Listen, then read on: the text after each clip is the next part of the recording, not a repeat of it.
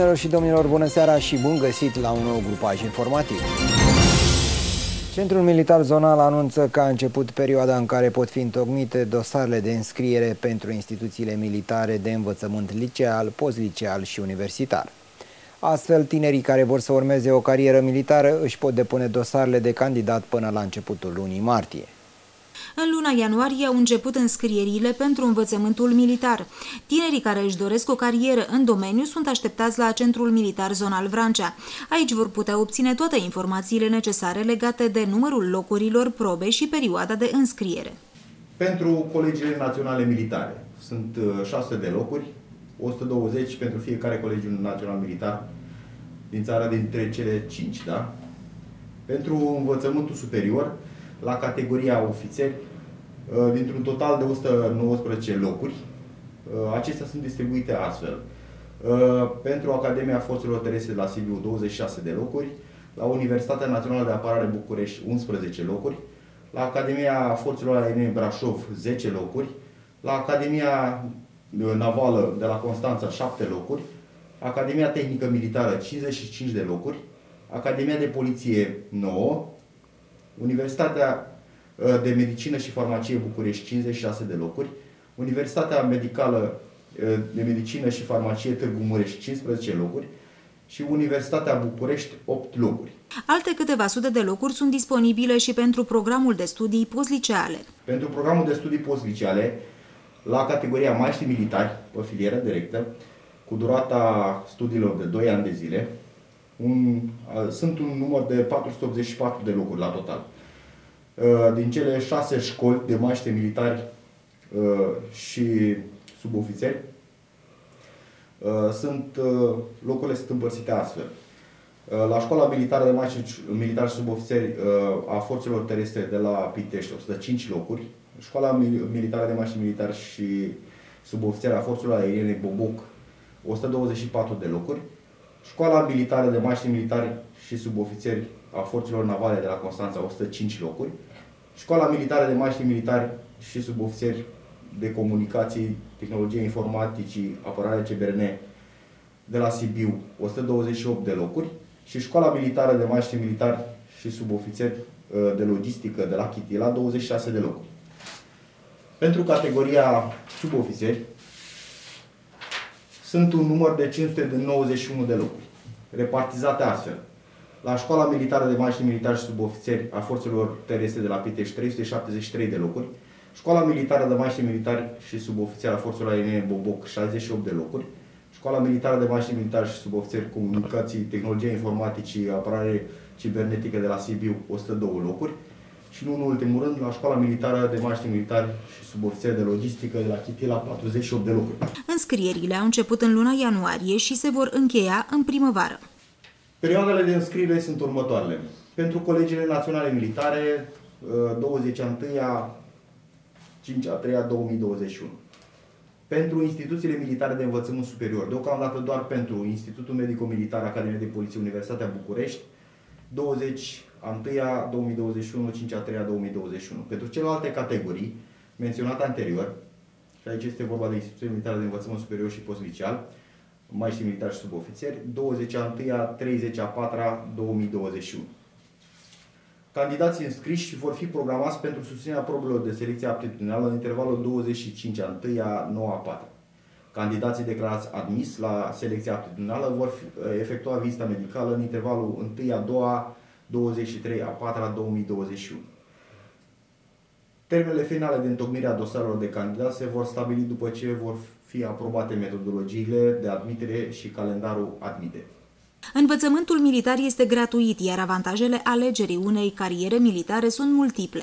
În cadrul colegiilor naționale militare, academiilor militare, cât și în cadrul școlilor postliceale militare, se asigură gratuitate pe timpul studiilor, hrănire, echipare, cazare, transport, asistență medicală, etc. La finalizarea studiilor, prin contract, se asigură uh, loc de muncă în cadrul Ministerului Apărării Naționale. Pentru informații detaliate, consiliere și începerea procesului de recrutare, cei interesați uh, vor trebui să se prezinte la sediul Biroului Informare Recrutare, situat în sediul Cercului Militar, mai exact Casa Armatei. Uh, de luni până vineri, uh, în intervalul 8.30-16. 16.30 sau marți între 10.30 18.30. Informațiile suplimentare se pot obține și la numărul 0237 216 227. Pentru cei care au la îndemână dispozitive conectate la internet, se pot găsi aceste informații detaliate și pe site-urile www.meapn.ro sau pe www.recrutaremeapn.ro. În primele două săptămâni au fost întocmite peste 100 de dosare de candidat, cele mai multe fiind pentru admiterea în colegiile militare. Cătălin Toma este noul președinte al Asociației de Dezvoltare Intercomunitară Vrancea Aqua. Astăzi a avut loc adunarea generală a acționarilor, ocazie cu care a fost aleasă noua conducere.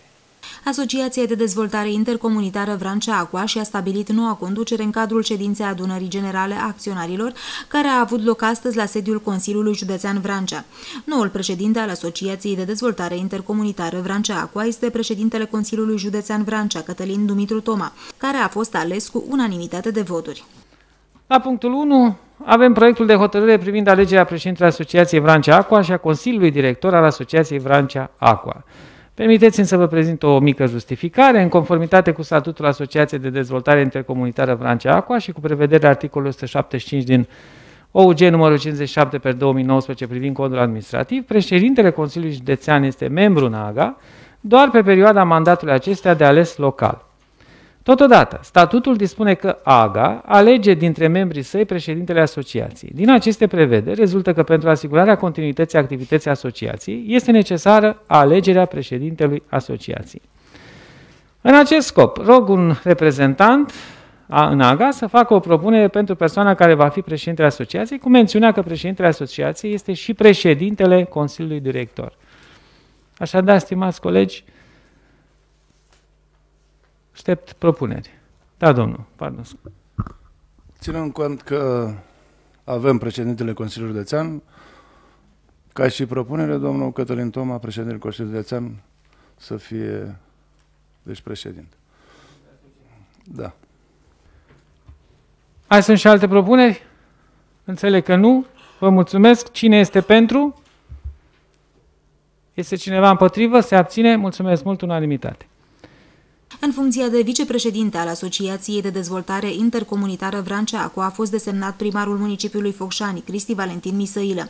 În cadrul adunării generale s-a decis prin vot și componența Consiliului Director, din care vor face parte primarii Daniel Nicolaș de la Udobești, Nicușor Păcuraru de la Vulturu, Vasile Petre de la Homocea, Alexandru Zar de la Golești și David Chiriță de la Răstoaca. Asociația de Dezvoltare Intercomunitară Vrancea pentru servicii în sectorul de apă și apă uzată din Vrancea are statut de asociație de utilitate publică, de drept privat și este singurul partener al operatorului regional SCCUP SA, ca organ unic de decizie și coordonare și exercită în numele și pe seama UAT-urilor asociate anumite competențe și prerogative ale acestora, drepturi și obligații pe baza unui mandat acordat de către membrii asociației prin statutul acestuia. Bilanțul îmbolnăvirilor de coronavirus pentru data de 2 februarie 2021 arată 16 cazuri noi la nivelul județului Vrancea și peste 2600 la nivel național. Rata de infectare în județul nostru se menține scăzută, respectiv 0,41 la mii de locuitori. De la începutul campaniei de vaccinare, în Vrancea peste 8800 de persoane au primit prima doză. Rata de infectare pentru Vrancea are valoarea de 0,41 la mie și este în scădere. În cele două municipii ale județului, valorile ratei de infectare sunt Focșani 0,64 în scădere, Adjud 0,4 în scădere. În spitalele de Focșani și Adjud se află internați 44 de pacienți, dintre care 9 la terapie intensivă, 7 la Focșani și 2 la Adjud. Astăzi erau în carantină la domiciliu 649 de persoane și 134 în izolare la domiciliu domiciliu.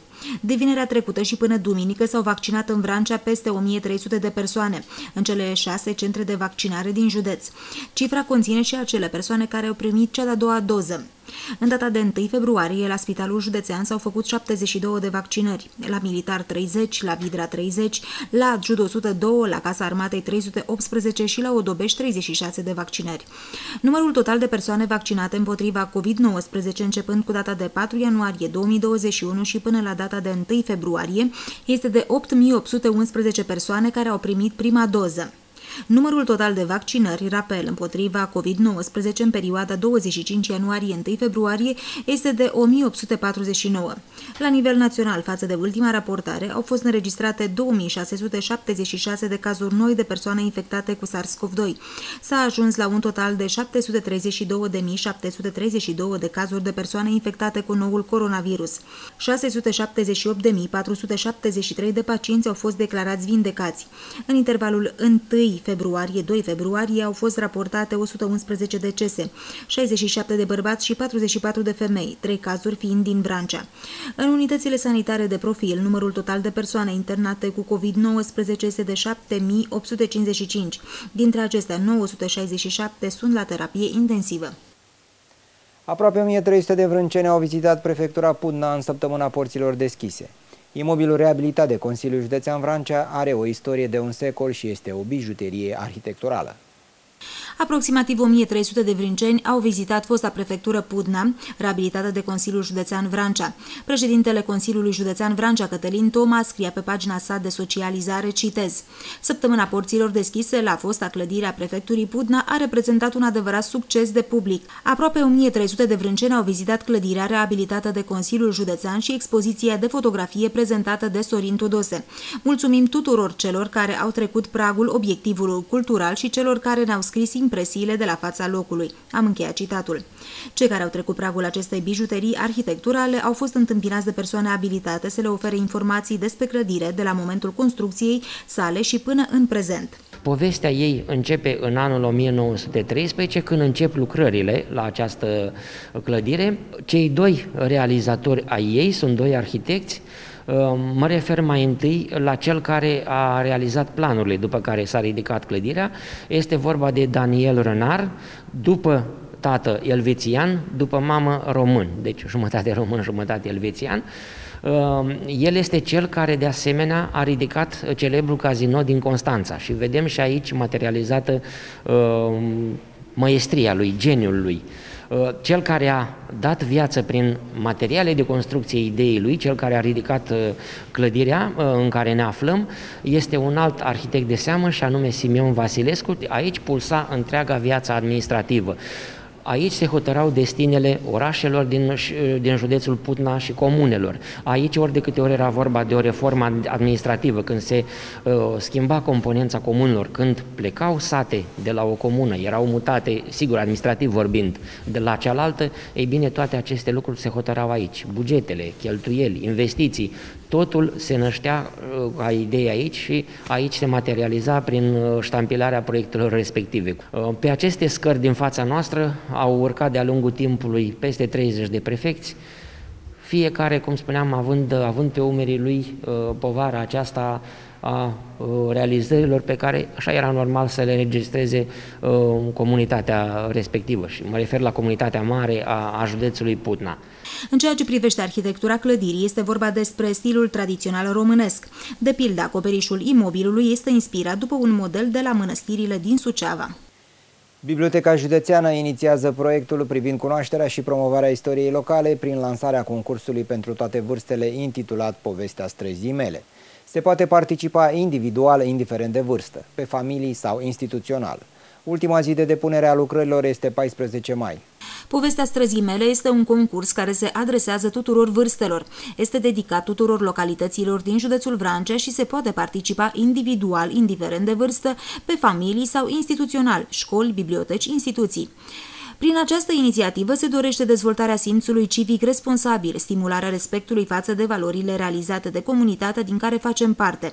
Data de lansare a concursului a fost joi pe 28 ianuarie 2021, iar pe 14 mai va fi ultima zi de depunere a lucrărilor, însoțite sau nu de imagini, fotografii, documente.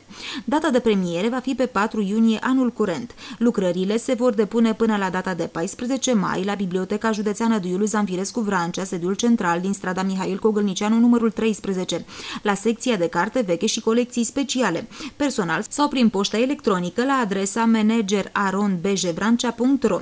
Lucrările scrise de mână sau la calculator vor fi redactate în format Word, cu caractere de 12, cu diacritice. Cele mai bune lucrări, adică cele care sunt originale, sunt documentate, sunt scrise corect și contribuie la cunoașterea istoriei locale, vor primi premii în bani, cărți, excursii, vor fi publicate de Biblioteca Județeană Duilu Zanfirescu Vrancea și vor fi postate pe site-ul memorielocalăvrancea.ro.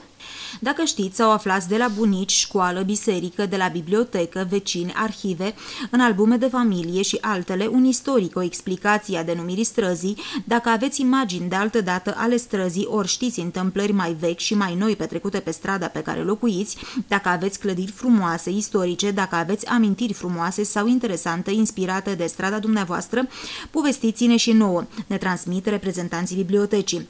Tuturor mult succes și liber la creație și inspirație! Centrul Cultural Vrancea a înființat în aceste zile cenaclul artiștilor amatori din Vrancea. Grupul se adresează actualilor elevi, dar și absolvenților clase de pictură din cadrul Școlii Populare de Artă. Înscrierea în grup se face pe pagina de Facebook Absolvenți și elevi ai Școlii Populare de Artă.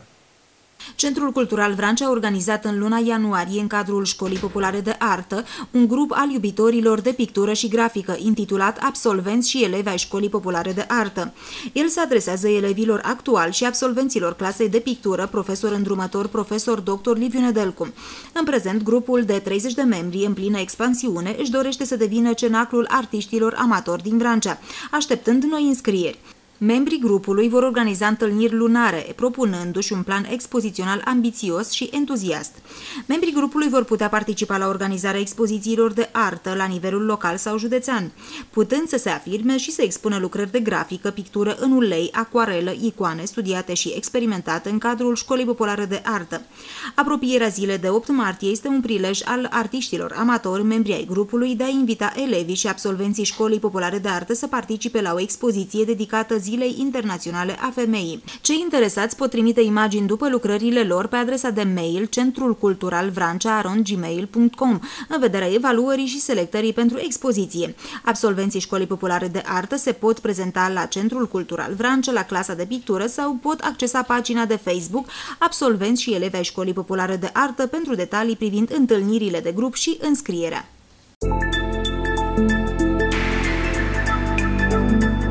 La final vă prezentăm prognoza meteo pentru următoarele 24 de ore. Vremea va fi în general închisă ca aspect, cerul va fi acoperit și izolat se va forma ceață.